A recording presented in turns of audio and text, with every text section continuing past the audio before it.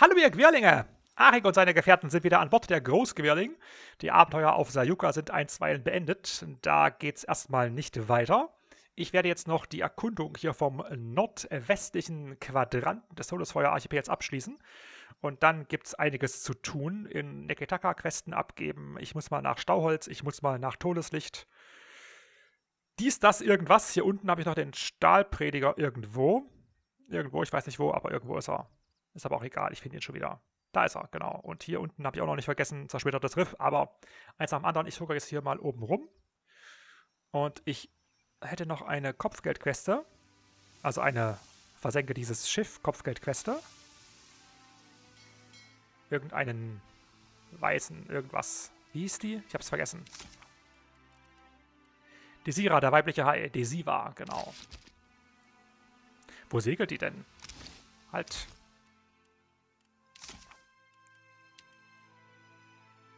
Segelt mit ihrer Schwarzspitze in den Gewässern südlich von Sayuka. Südlich von... Ach so, südlich von Sayuka. Okay, dann suche ich die mal gerade. Ich bin ja jetzt hier irgendwo. Kapitän Hasporo. Der will was von mir. Ah, was denn nun schon wieder?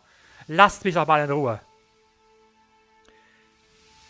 Was Krummsporn ist nur noch ein Streifen, landet deinen Brücken, als du eine Flotte heran ansiehst. Es sind raue italienische Kriegsschiffe, vollgestopft mit Kanonen und sie bewegen sich sehr rasch.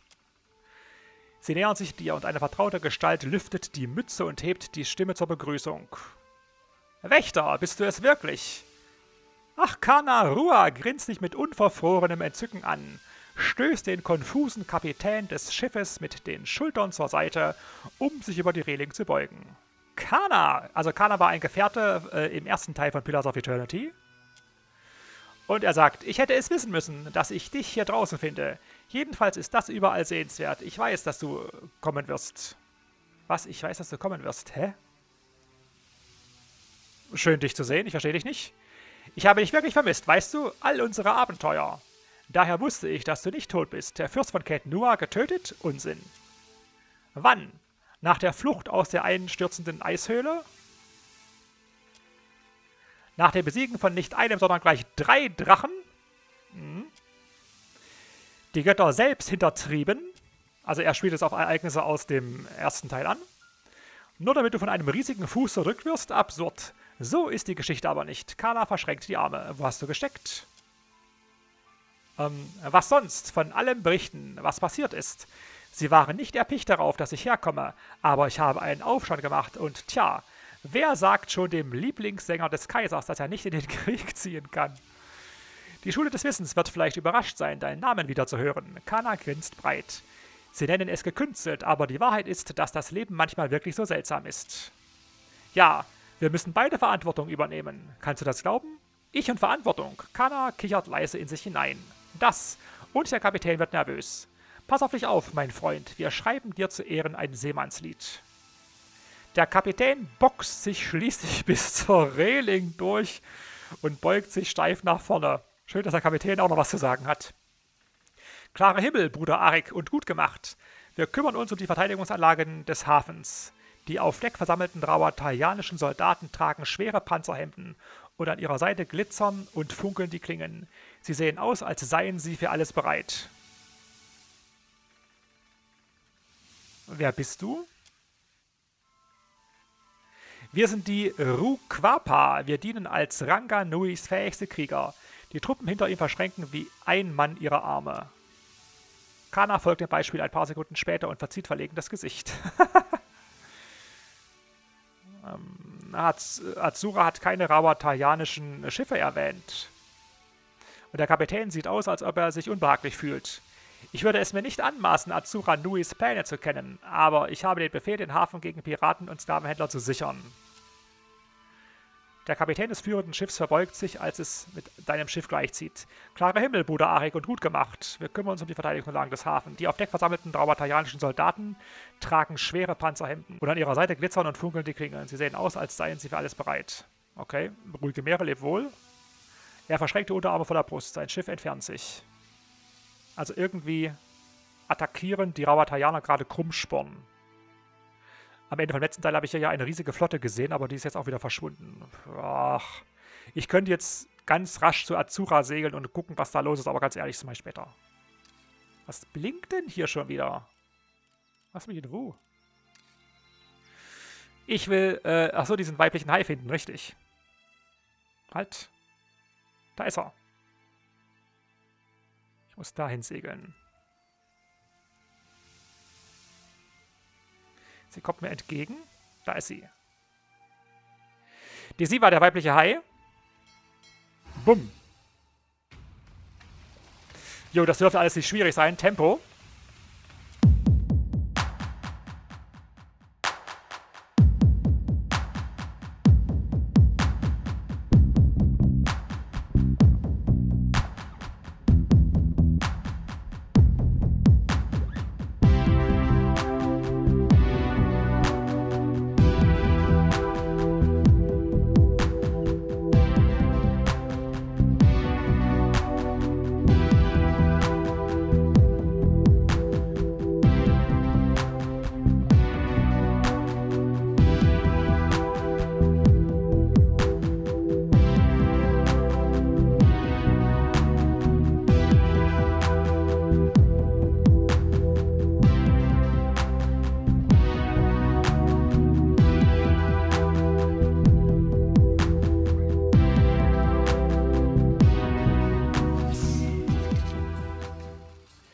So, das war's. Und Desi weiß nicht mehr. Gute Agebuse und so weiter. Gute und außergewöhnliche Dinge. Nichts Besonderes dabei auf den ersten Blick. Ja, es bleibt so. Dann die Farben der königlichen Todesfeuergesellschaft. Hier ein Trollstichsegel. Man ist schneller und hat besseren Segelzustand. Ein bisschen Nahrungsmittel. Jo. Alles nehmen und fortfahren. Ich brauche das Geld, das wird nicht an die Mannschaft verteilt. Moral ist auch so hoch genug.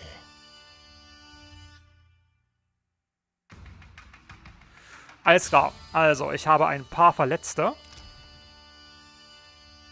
Ah, das bist du und dann kommst du noch dazu. Ihr werdet geheilt. Ich habe genug äh, Medizin. Ich habe auch genug Vorräte. Ich kann direkt weiter tuckern. Und zwar würde ich gerne der oben hin die Erkundung des Todesfeuers wieder aufnehmen.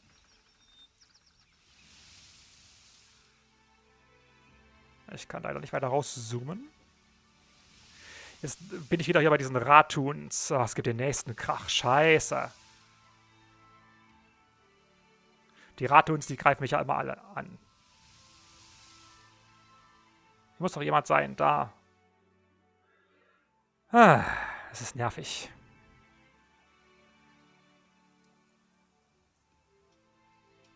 Wobei, die segelt von mir weg, das ist erstaunlich. Ach, jetzt hat sie mich gesehen, okay. Angriff und die nächste Beschleunigung.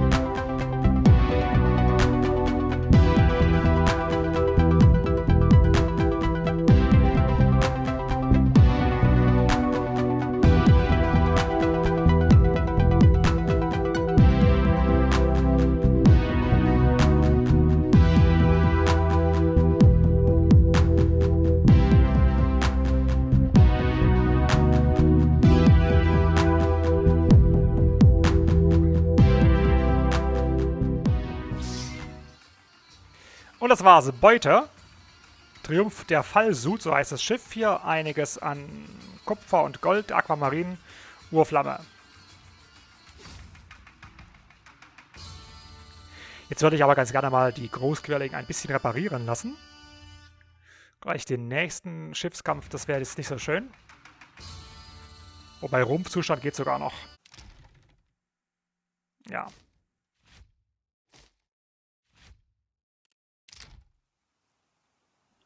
Deswegen schuckert mal stumpf hier ein bisschen durch den Nebel.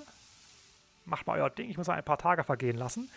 Zum Glück ist der Doktor nicht verletzt. Was habe ich da? Ach, da ist die Razai-Passage. Das ist einfach nur so ein Böppel auf der Karte, dass ich die finde. Unbekannter Standort.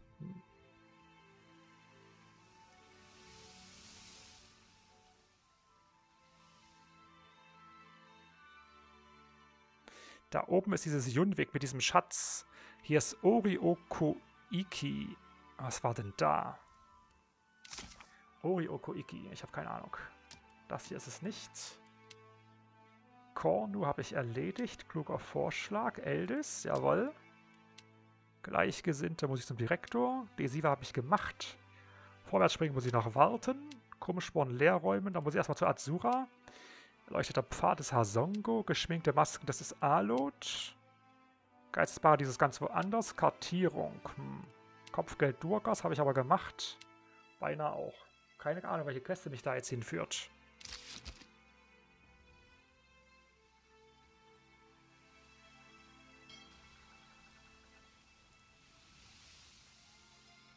Orioko Iki. Hm. Hier ist irgendwas. Reagenz. Ich gehe da erstmal nicht an Land, weil ich jetzt gerade nicht weiß, welche Quest ich da jetzt wieder in der falschen Reihenfolge machen würde. Oh. Oh, das nächste Pestschiff. Das ist nervig. Medizinische Vorräte kann ich gebrauchen. Was ist hier? Lösung. Das ist gut für Bombenbau und so. Das Pestschiff lasse ich auch mal sein. Das bringt sowieso wieder nichts. Ich habe mich mal kundig gemacht mit diesen Pestschiffen. Ähm, ich glaube, es ist so, mit meinem Schiffsarzt Großmaul kann ich da nichts machen. Ich müsste einen anderen Arzt haben. Und zwar müsste ich angeblich Alt Engrim, der ja auch ein bisschen Chirurg ist, äh, ihn äh, als Arzt haben und der müsste dann auch irgendwie besser sein, damit man da vielleicht was machen kann. Das ist total komisch, weil warum soll ein Großmaulchirurg äh, da nichts machen können? Das ist total unlogisch. Und es gibt aus äh, rollenspielerischen Gründen für Arik im Moment keinen Grund, hier das auszutauschen. Weil ich habe hier ganz viele Verletzte und es braucht ganz viel Zeit und so. Deswegen wird das Pestschiff gemieden. Die Helden haben es halt einfach nicht gesehen. Was ist hier? Reparaturvorräte. Schön. Hier ist was. Ach, hier ist diese Schatzinsel von der, ähm, von dem Kapitän der Brandfackel. Das könnte ich auch machen. Kapitän Henkwas Schatz. Ich mache das aber in der nächsten Episode. Das könnte wieder ein bisschen länger sein. Ich drücke euch hier noch ein bisschen rum. Vor allem möchte ich auch, dass die Großquerling wieder ein bisschen repariert wird. Was ist hier? Hier ist der stiefelsaugende Sumpf. Okay, das könnte was für die Kartierung sein. Und wieder Orlaner-Kopf oder was? Ja, ja, ja, ja, ja, komm, das kann man jetzt schon ja, ja, ja, ja. Das habe ich jetzt schon zum dritten Mal gehabt. Das lese ich nicht mehr vor. Wer bist du? Du bist Myrlesfeen, die wahrlich Wahnsinnige. Sie ist eine unabhängige... Ja, du willst ja nichts von mir, richtig? Ich gebe den Helden hier an Land. Ich glaube, ich muss auch allmählich mal wieder rasten mit den Helden. Weil die wohl keinen Rastbonus mehr haben. Es ist eh gerade dunkel, dann rastet mal. Mit Wahrnehmungsbärchen, genau. Und dann lassen wir uns mal die Stiefel vom Fuß saugen im stiefelsaugenden Sumpf. Das ist eine Alliteration auf S. Wie ihr garantiert alle, alle bemerkt habt. Du stapfst durch ein dunkles, kaltes Moor. Das Wasser um dich herum wird immer tiefer, je weiter du das Moor eindringst. Unter deinen Stiefeln sind Schlamm und glitschiger Matsch. Der Pfad nach vorne wirkt noch trügerischer als der Pfad zurück. Doch jetzt bist du schon einmal so weit gekommen. So, do, äh, fortsetzen, äh, Überlebensprobe. Edea. Ach, Mensch, scheiße. Du stapfst weiter durch das Moor. Aufmerksamkeit, nein, Edeas Aufmerksamkeit ist kurz abgelenkt und da ist es auch schon passiert. Er tritt auf einen Flecken schwankenden Bodens und versinkt tief im Wasser. Edea sich selbst überlassen. Nein, rausziehen. Das macht Arik, das ist bestimmt eine Machtprobe. Was eine Athletikprobe ist ja nicht zu fassen. Oh, ihr seid solche Mäuse, ihr seid solche Mäuse. Du tauchst deine Arme in das schlammige Wasser, aber kannst Eder zwischen den verfaulenden Pflanzen und Baumwurzeln nicht finden. Einige angespannte Momente vergehen, dann steigt ein Schwall von Luftblasen an die Oberfläche. Eder durchbricht prustend und nach Luft schnappend die Wasseroberfläche. Du ziehst Eder aus dem Wasser. Gemeinsam lasst ihr euch auf trockenes Land fallen. Eder hustet eimer, eimerweise Moorwasser hoch und liegt stöhnend am Boden. Ach du Armer. Eder wurde verletzt. Weitergehen. Das Moor liegt still da, es riecht nach Verfall und im abgestandenen Wasser haben sich über mehrere Jahrzehnte hinweg unzählige tote Pflanzen und Tiere angesammelt. Ein dichter Nebel breitet sich aus dem Wasser aus oder auf dem Wasser aus. Mehrere vermummte Gestalten tauchen still aus dem Nebel auf. Eine Herde von Moorlaurern direkt hinter ihnen. Ein großer männlicher Aumauaner an der Spitze der Gruppe zieht sein Schwert und richtet es auf dich. Hahaha, die Geste gebe ich mal ganz direkt zurück grober Klotz und grober Keil. Du weißt Bescheid. Wenn dir daneben lieb ist, verlässt du diesen Ort und kehrst nie mehr zurück. Er starrt dich finster an, als würde er nur darauf warten, dass du ihn herausforderst. Warum sollte ich auf dich hören? Ich bin der Wächter dieses Ortes und ich werde es dir nicht erlauben, ihn mit deiner Anwesenheit zu entweihen. So. Kommst du AFT her? Was, was, was, was, was? Ich könnte jetzt diplomatisch versuchen zu sein. Ah ne, komm, ich habe gerade Bock auf eine Reiberei angreifen. Ich habe Bock auf eine Reiberei. Wächter dieses Ortes wird ja noch schöner. Er spinnt wohl. Die spinnen alle hier an dem Spiel. Du bist ja nicht willkommen. Das, ist, das hast du nicht zu entscheiden. Na gut, es ist sein Jump, natürlich hast du das zu entscheiden, aber trotzdem. So nicht. Ederchen ist verletzt. Aber das wird nichts ausmachen. Chaoskugel dahin. Ganz schnell. Dringil, haben wir irgendeinen? Nee, das ist irgendwie alles... Nee, das ist doof. Auf die Sumpflaura mache ich keinen Schachzug. Das ist Verschwendung. Herr Professor, danke. So, erstmal ganz schnell da den ersten Feuerball hingeschmissen. Und dann der nächste Segen.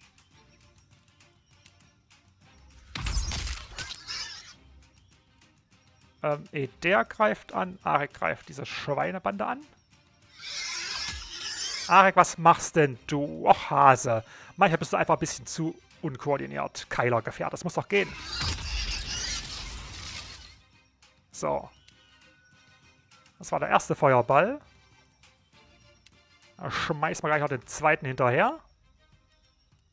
Und Xoti brennt denen eine drauf. Wo ist denn eigentlich der? Ach, der steht da. Alles gut. Ah, du kannst mal ein bisschen treten. Nein, du konntest doch da, wo du warst. Was, jetzt renn doch nicht weg, du standst doch perfekt. Mann. Mach's nochmal, komm. Au. Das tut weh, oder? Tut das weh? Das tut weh. Okay, dann hätte ich jetzt ganz gerne mal äh, Xoti, Schein des Leuchtfeuer und so weiter. Ist das jetzt gekommen? Das ist gekommen. Hat sogar ordentlich Schaden gemacht. Mach du mal den da, wegen Arik. Der tritt gleich noch. Herr Professor, was können Sie denn noch tun? Schönes. Vielleicht ja noch einen verzögerten Feuerball, aber das dauert dann wahrscheinlich zu lange. Aber trotzdem. Trinke, wir haben hier ein Schwein. Das braucht Zuwendung. Arik tritt den Keiler Gefährten.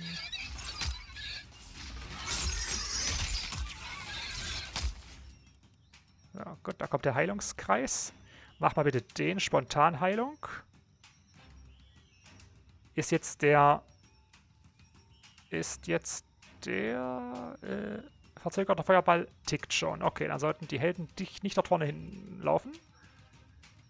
Attacke hier. Oder mach erstmal den. Sicher ist sicher. Dringil. Stieß auf dieses Vieh. Du gibst ihm einen Zauberbuch Slam.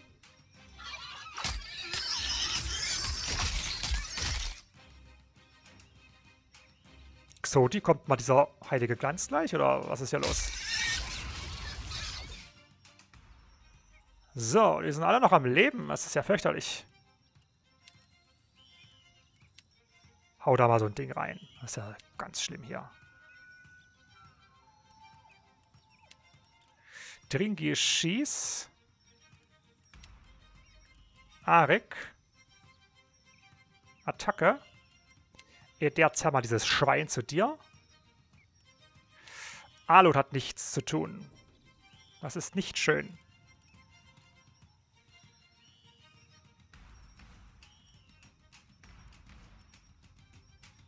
Hm. Ganz ordinären Schauernebel ist ja auch doof.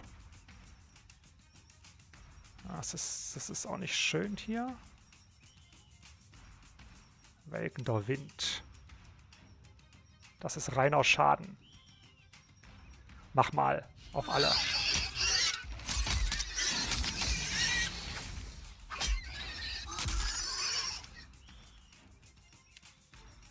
Xoti, mach dein Ding. Danke. Jetzt muss ich ja mal für Heilung sorgen. Das ist ja schlimm. Oh, ist richtig heftig. Die abprallenden Fluggeschosse wären jetzt ideal, aber genau die habe ich nicht mehr.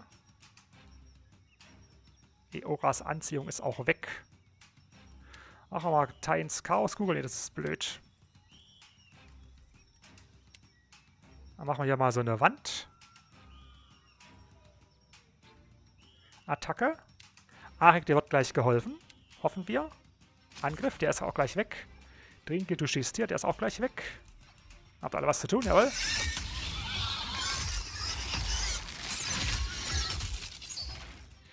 Okidoki.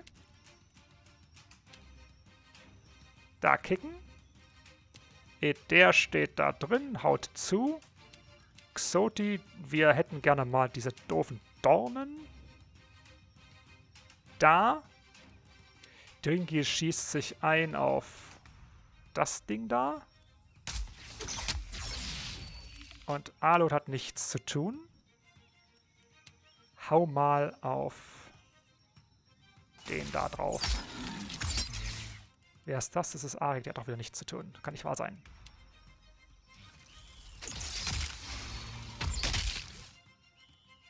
Tritt ihn!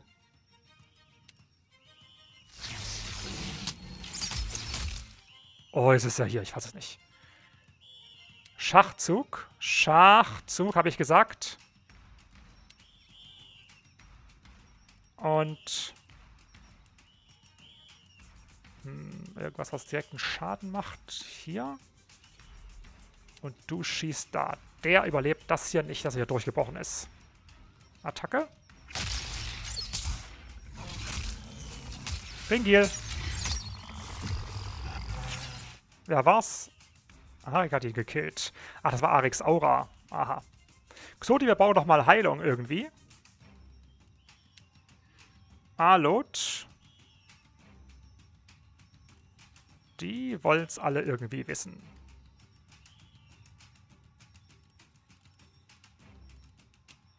Angriff. Xoti, was kannst du noch machen?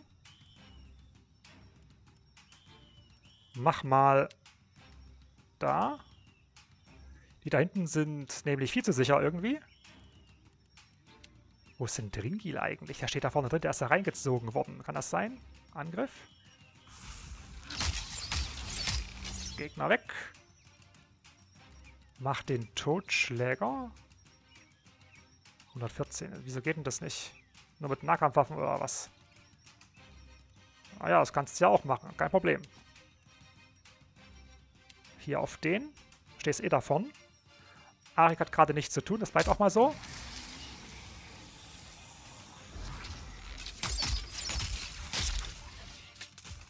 Der lebt noch. Ich glaub's nicht. Ich wollte erstmal hier diesen Sturm abwarten. Dann geringe Fürbitte. Heilt ein bisschen. Drinkil Heilung. Da auf die Kollegen. Arik treten. Alot schießen.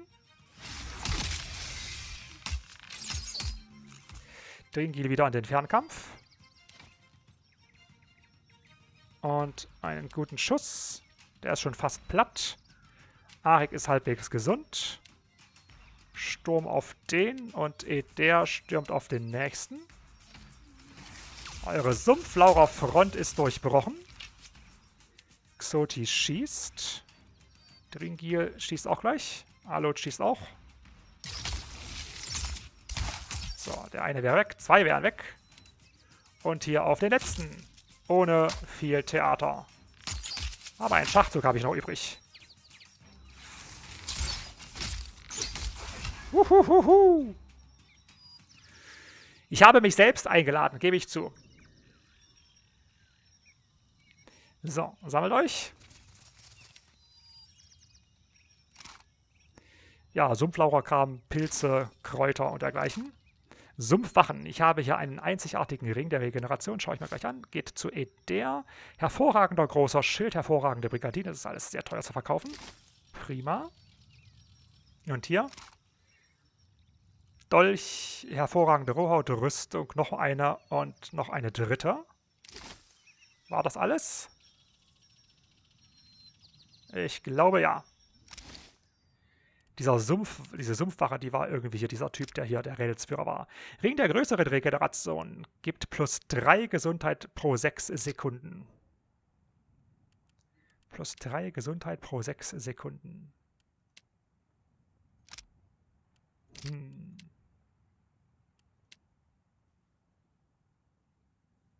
Also pro Sekunde halbes Gesundheit.